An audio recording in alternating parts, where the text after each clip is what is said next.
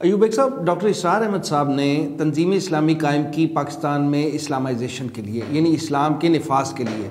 लेकिन जब पाकिस्तान में इस्लाम के नफाज के लिए तहरीक चली मैं आ, मेरे कहने का मकसद तहरीक निज़ाम मुस्तफ़ा जब चली तो उसमें शिरकत ना की। इसकी क्या वजह?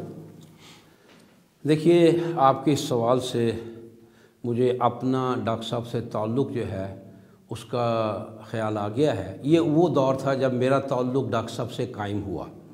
डॉक्टर साहब उस ज़माने में लेट सेवेंटीज़ की बात लेट सेवन सेवेंटी सेवन की सेवेंटी सेवन सेवेंटी सेवन की बात है। डॉक्टर साहब उन दिनों में समनाबाद की एक मस्जिद जाम खजरा मस्जिद खजरा उसे कह, कहते हैं उसमें एक ख़तीब की हैसीत से ज़िम्मेदारी अदा कर रहे थे। उस ज़माने में भट्टो ने इलेक्शन करवाए थे। ये इलेक्शन जो है 1977 में उसने वक्त से पहले इलेक्शन का ऐलान कर दिया। उसे तो थी कि ये इस वक्त अपोजिशन जो है वो बिल्कुल मुंतशिर है और मेरी जीत जो है वो बड़ी, सीधी सादी, बड़ी आसान होगी।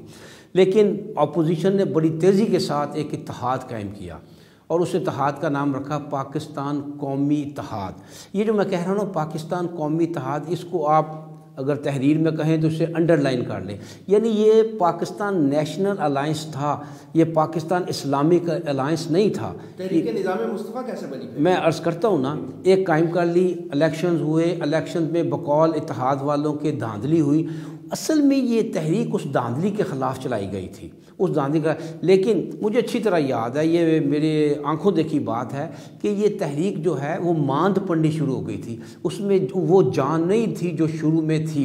इस पर उनके बड़े जो हैं, वो सर जोड़ कर बैठे और उन्होंने इसमें इस्लाम का टीका लगाया इसको।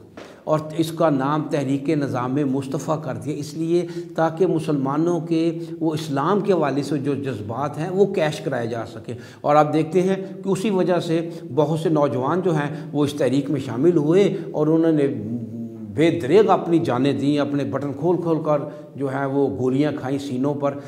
और ये तहरीक निज़ाम मुस्तफ़ा बनाकर उन्होंने लोगों के जज्बात को उसमें इन्वॉल्व कर लिया। इस्लाम, आपको मालूम है कि हिंदुस्तान में मुसलमान का ताल्लुक़ जो है, आप सारी हिंदुस्तान की तारीख़ देखें तो आपको मालूम होगा कि हिंदुस्तान के मुसलमान का ताल्लुक़ जो है, वो मज़हब से हमेशा हमेशा जज्बाती ताल्लुक़ रहा है। अमली ताल्लुक़ इतना नहीं रहा, यानी जज्बात में आकर जान देने को तैयार है, चाहे नमाज़ पढ़ें या ना पढ़ें। ये हमेशा उसका है लिहाजा बहुत से लोग जो हैं, वो उस जज्बात के तहत आ गए वो तहरीक निज़ाम मुस्तफ़ा चली, उसमें एक बड़ा लतीफ़ा हुआ।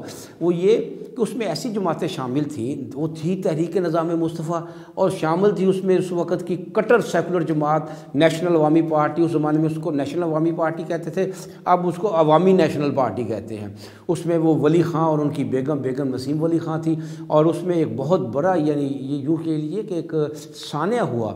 कि उस एक जलसा हुआ मस्जिद शहदा में और उसमें उन्होंने बेगन नसीम वली खां को जो है वो मेंबर रसूल पर बैठा दिया। मेंबर पे या स्टेज पे? नहीं मेंबर पे बैठा वहाँ स्टेज तो था ही नहीं। वो मेंबर रसूल पर बैठा दिया और ये एक बहुत बड़ा मैं समझता हूँ अलमिया है और सियासत की मजबूरी है कि फिर सियासत में आकर आपको बना ले। इस वक्त उन्होंने इमाम बस उन्होंने एक जगह दे दी उसको तकरीर करने के लिए, जो बड़ी नामनासब बात थी। तो कहना मैं ये चाहता हूँ कि वो एक्चुअली वो एंटी भट्टो तहरीक थी।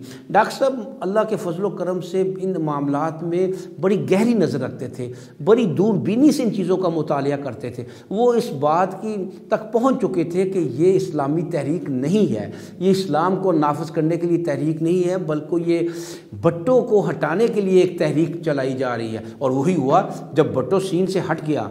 जब ज़ियाउल हक आ गया तो तहरीक एकदम ख़त्म हो गई।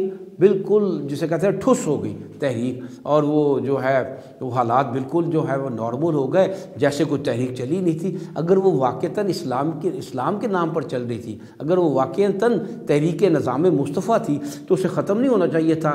ताकि इस्लामी निज़ाम कायम ना हो जाता, वो भुट्टो करता या ज़ियाउल कर आके करता। लेकिन ये कि उन्होंने ख़त्म कर दी, सिर्फ़ हुकूमत की तब्दीली की वजह से। इसका मतलब ये हुआ कि सिर्फ़ हुकूमत की तब्दीली जो वो मकसूद